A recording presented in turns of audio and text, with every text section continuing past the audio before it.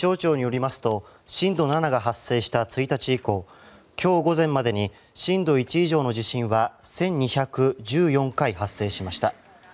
この1週間で去年までの3年間に起きた地震の総数の2倍以上になっています。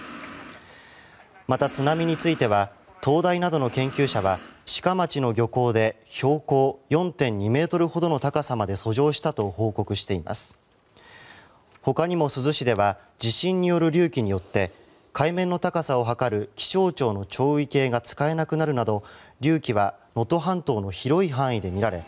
国土地理院は輪島市で最大4メートルを観測したと発表しました。